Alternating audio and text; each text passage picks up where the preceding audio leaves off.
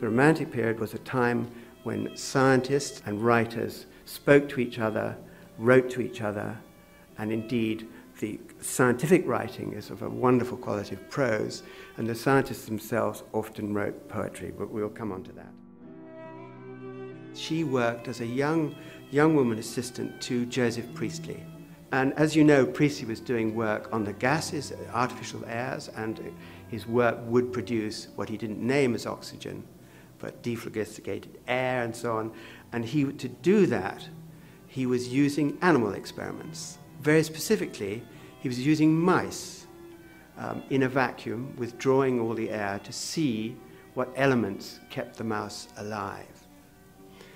Now, one evening, the young assistant, Anna Barbauld, she was 23 then, when she was packing up at the laboratory for the next day's experiments, she found the mouse who would be experimented on in a cage, waiting next to the vacuum tank.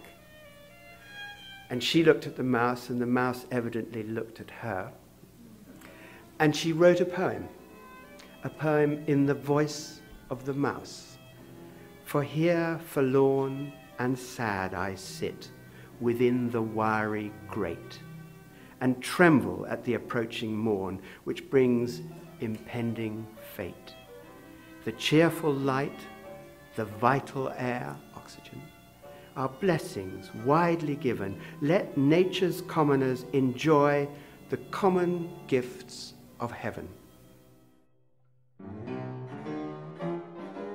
the young man from Cornwall was hoping for a cure for tuberculosis. Not such a crazy idea.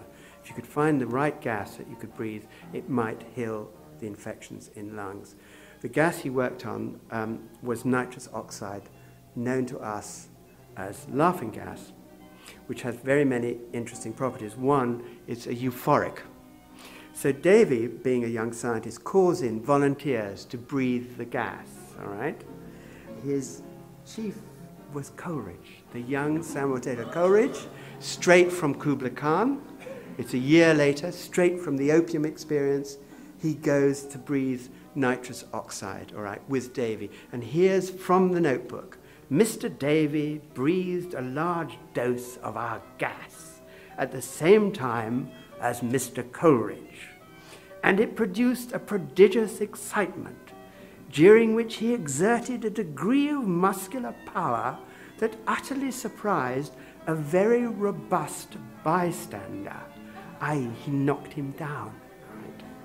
But he was so far from sinking, like some spent Pythian priestess, that his spirits were unusually good all day, nor has any languor succeeded since.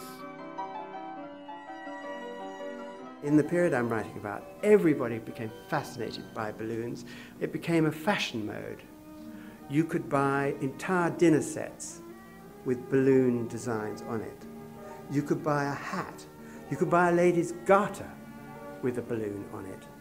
Of course, from the balloon, you suddenly see the world differently. You see they flew over the big cities. You could see how the cities had developed, the importance of rivers within them, the impact of city and cultivation on the wild land and the rivers and the trees and the forests around it. So the first time we begin to get something that we would now recognize as a kind of environmental consciousness. And there is some comparison between the importance of those views and what happened when the astronauts first went round the moon. And the argument there is that also produced a whole shift in perspective.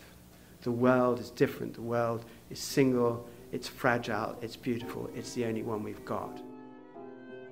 I think there is a sense that we are moving into a new age of wonder and that the cultures are talking together again and the history of science, the history of science itself is to me one of the great disciplines that will bring us all together.